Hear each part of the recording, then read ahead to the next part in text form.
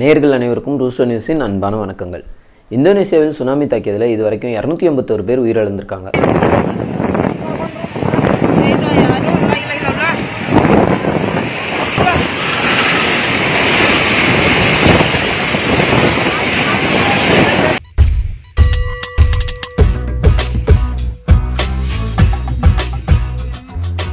Indonesia. பதினேழாயிரத்தி ஐநூறு தீவுகளை கொண்ட இந்த நாட்டில் ஆறாயிரம் தீவுகளில் வந்து மக்கள் வசிச்சுட்டு இருக்காங்க இது வந்து சுற்றிலும் எரிமலை இருக்கக்கூடிய ஒரு நாடு. நூற்றி ஐம்பதுக்கும் மேற்பட்ட எரிமலைகள் அங்கே இருக்குது இந்தோனேசியாவில் தொடர்ந்து சுனாமி நிலநடுக்கம் எரிமலை வெடிப்பு போன்ற இயற்கை பேரிடர்கள் நடந்துக்கிட்டே தாங்க இருக்குது கடந்த ரெண்டாயிரத்தி நாலில் ஏற்பட்ட சுனாமியில் இந்தோனேசியா கடுமையாகவே பாதிக்கப்பட்டிருந்தது.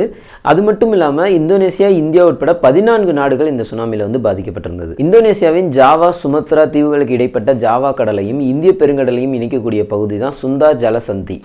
அந்த பகுதியில் இருக்க அனக்ரக்கட்டாவ் அப்படின்ற எரிமலை கடந்த டிசம்பர் இருபத்தி ரெண்டாம் தேதி இந்தோனேசிய நேரப்படி இரவு ஒன்பது முப்பது மணி அளவில் வெடிச்சிருக்கு. இதனால் ஏற்பட்ட நிலநடுக்கம் காரணமாக அங்கே சுனாமி பேரலைகள் உண்டாயிருக்கு. இந்த சுனாமி பேரலைகளும் இந்தோனேசிய நாட்டில் கடும் பாதிப்பை உண்டு பண்ணியிருக்கு. ஜாவா தீவோட மேற்கு பகுதியில் இருக்கக்கூடிய கடற்கரை உல்லாச விடுதின்னு சுற்றுலா தலங்கள் எல்லாமே இதில் ரொம்பவே கடுமையாக பாதிக்கப்பட்டிருக்கு. சுற்றுலா தீவின் சொர்க்கம்னு சொல்லப்படுற பாண்டெக் லாங் அப்படின்ற பகுதியில் கிட்டத்தட்ட நூற்றி அறுபது பேர் இந்த சுனாமி பேரலையினால உயிரிழந்திருக்கலாம்னு நம்பப்படுது. இப்படி ஒரு சுனாமி வரப்போகுது அப்படின்னு இந்தோனேசிய அரசு வந்து எந்தவித முன்னெச்சரிக்கை அறிவிப்புமே கொடுக்கவே இல்லை. திடீர்னு உருவான இந்த அலையினால் நிறைய பேர் உயிரிழந்திருக்காங்க. ரொம்பவே கடுமையாக பாதிக்கப்பட்டது மட்டும் இல்லாமல் கார்கள் வீடுகள் சைக்கிள் மோட்டார் வாகனம்னு நிறையவே அடிச்சுட்டு போயிருக்கு. கடந்த இருபத்தி ரெண்டாம் தேதி உருவான இந்த சுனாமினால் இந்தோனேசியா வந்து கடுமையாக பாதிக்கப்பட்டிருக்கு அப்படின்றது மறுக்கப்பட முடியாத நிதர்சனமான உண்மை. இந்த விஷயத்தை இந்தியாவில் இருக்கக்கூடிய சோ கால்டு நேஷனல் மீடியான்னு சொல்லப்படக்கூடிய அனைத்து மீடியாக்களுமே வந்து ஒரு பிரேக்கிங் நியூஸாக ஒரு முக்கியமான செய்தியாக சொன்னாங்க. அதே ஒரு மாதத்துக்கு முன்னாடி தமிழ்நாட்டில் வந்த கஜா புயலால் டெல்டா மாவட்டங்கள் ரொம்பவே பாதிக்கப்பட்டு விவசாயமே கேள்விக்குறியாக இருந்தது. இந்த கஜா புயலினால் எவ்வளோ பாதிப்பு இருக்குது இந்த தமிழ்நாட்டுக்கு எவ்வளோ இதனால் இழப்பு வந்திருக்கு? அப்படின்றத பற்றி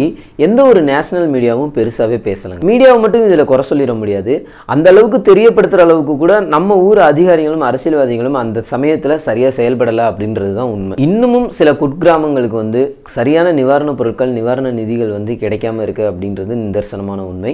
இதெல்லாம் தவிர்த்து வெளிநாட்டில் நடக்கிற ஒரு அசம்பாவிதத்துக்கு கொடுக்கக்கூடிய முக்கியத்துவத்தை நம்ம ஊர்லேயும் நமது பக்கத்து மாநிலங்கள்லையும் நடக்கிற விஷயங்களுக்கும் ஏன் இங்கே கொடுக்க மாட்டாங்க அப்படின்றதும் இங்கே ஒரு கேள்விக்குறியாக இருக்குது இதையெல்லாம் தாண்டி நம்ம ஊர் அரசியல்வாதிகளும் அதிகாரிகளும் கொஞ்சம் சிறப்பாக செயல்பட்டால் நல்லா இருக்குன்ற கோரிக்கையை வைத்துக்கொண்டு வேறொரு வீடியோவில் உங்களை சந்திக்கும் வரை உங்களிடமிருந்து விடைபெறுவது த ரூஸ்டர் நியூஸ் டீம் இந்த வீடியோ பற்றின கமெண்ட்டை கண்டிப்பாக மறக்காமல் பதிவு பண்ணுங்கள் நன்றி வணக்கம்.